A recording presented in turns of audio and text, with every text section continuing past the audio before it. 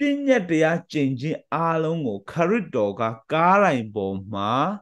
ခံလိုက်ပြီဖြစ်သောကြောင့်ကောင်းကြီးပဲကြံတယ်အဲ့တော့ဖယားကလူကိုပေးเสียဆိုလို့ဘာပဲကြံတယ်ဖယားကသင်နဲ့ကျွန်တော်ကို ပေးမဟိတ်လို့ပြောရင်ကောင်းကြီးပဲကြံတယ်ပြည့်ညက်တရားအရာကျွန်တော်ကိုပေးမယ်ဆိုရင်တောင်မှကောင်းကြီးမင်္ဂလာပဲကြံတယ်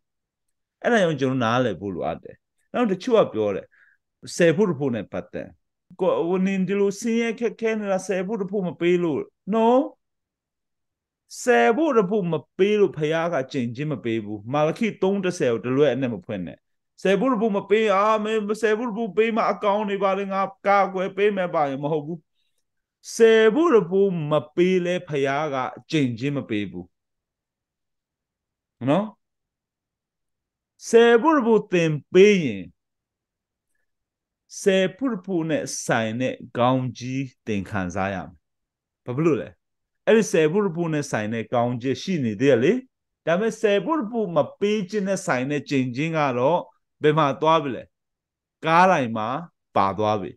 ဆယ်ဖို့ဖို့နဲ့ပတ်သက်လဲဘာပဲကြံလဲ